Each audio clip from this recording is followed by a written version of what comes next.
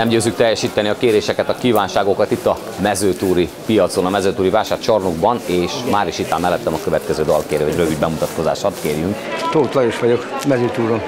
Mezőtúról, akkor gondolom gyakorta megfordul itt a, hát, itt a piacon. Állandóan, pénteken meg vasárnap általában. Valami finom ebéd lesz ma egyébként, megtudhatom? Hol, itt? Amit a kedves felesége készít otthon. Ő is itt van egyébként a Nincs, piacon? nincs, nincs, nincs. Most akkor a feladatot egyedül kell teljesíteni. Nem, hanem megyek haza, aztán nem tudom, mi lesz most. Mert Hát elsősorban a vásárlásra gondoltam, de Ja, igen. akkor segítünk egy dal választásban. Mi lenne a nóta? nem tudom. Nem tudom. Segítsünk? Bunyós Pityunak van egy dala, nem járok én sehova se, ami nem igaz, ugye, mert most itt látom azért, hogy itt vagyunk, máskülönben nem is találkoztunk volna. Jó lesz ez a nóta egyébként? Jó. Jöjjön egy dal Bunyós Pityutól, nem járok én sehova sem.